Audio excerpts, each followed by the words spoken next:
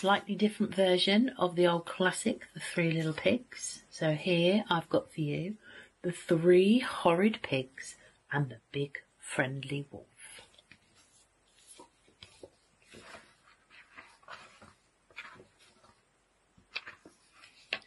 Once upon a time, Mother Pig lived with her three horrid little pigs in a tiny house. The little pigs were very naughty and they drove their mother crazy. I've had enough of you pesky pigs, she told them. It's about time you moved out and found your own way in the world. So she packed their bags and sent them on their way. Go on, clear off. Stop pushing.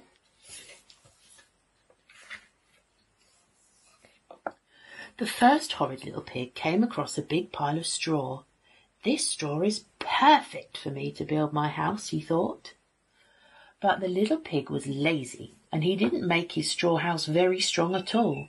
Luckily, a big friendly wolf, who just happened to be a builder, was passing by. Good grief, gasped the wolf.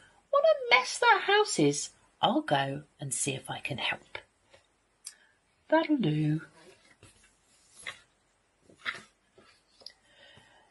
Little pig, little pig, may I come in? asked the wolf. Push off, shouted the pig. Not by the hairs on my chinny chin chin will I let a wolf in. Put one paw on my house, and I'll huff and I'll puff and I'll boot you out. I only wanted to help, said the wolf sadly as he went on his way. The second horrid little pig found a huge pile of twigs. These twigs will make a brilliant house for me, he thought. But the little pig was even lazier than his brother so the house was a disaster.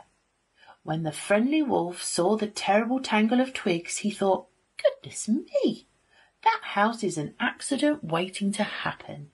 I'd better go and help. Little pig, little pig, may I come in? asked the wolf. Clear off, shouted the rude little pig. Not by the hairs on my chinny chin chin will I let a wolf in. Put one paw on my house and I'll huff and I'll puff and I'll throw you right out. I'm sorry, sighed the wolf.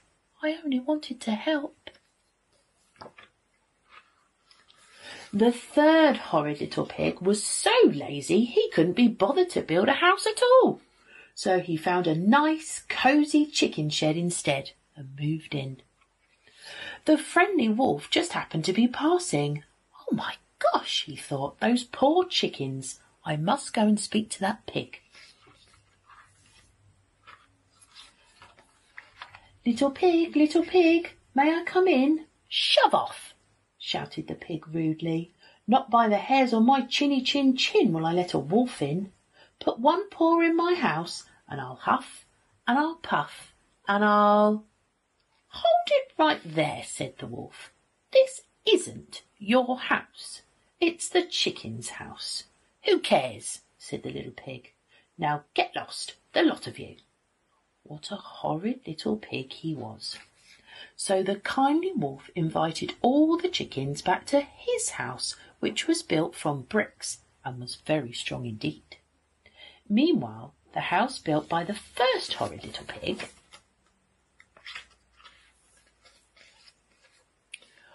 was being eaten up by a herd of hungry cows.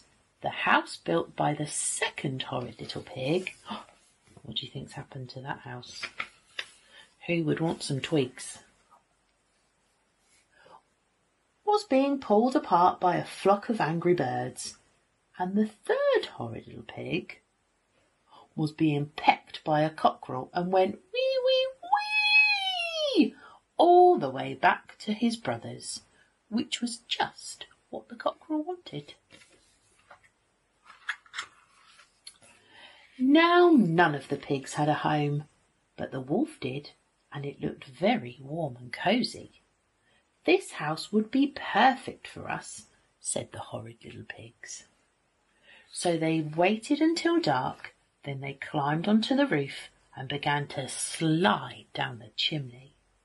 The wolf heard the horrid little pigs so he got out a great big pot of boiling. What do you think it's going to be? Soup. You must be hungry, said the wolf. He really was the sweetest, loveliest wolf ever. The friendly wolf let the pigs stay, and after a while they stopped being lazy, horrid little pigs, and learned how to build a proper house made of bricks. Which was big enough for everyone. And they all lived happily ever after. The